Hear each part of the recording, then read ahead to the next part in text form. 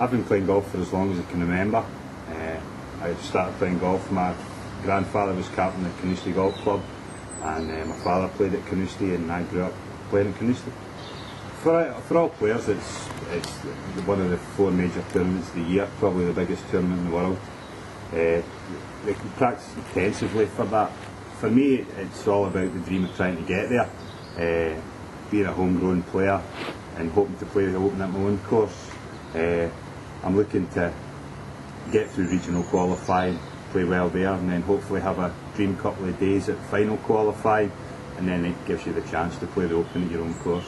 It's hard to hold too high expectations, but you've always got to know that golf's 18 holes, everyone's playing themselves. If you have three good days, maybe shoots 368s, you've got a fair chance of playing in the Open.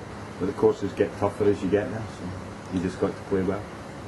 With the Open Championship a mere three months away, we may yet see another fairy tale ending for a Scot trying to defy the odds. Michael Fallon, IC Scotland.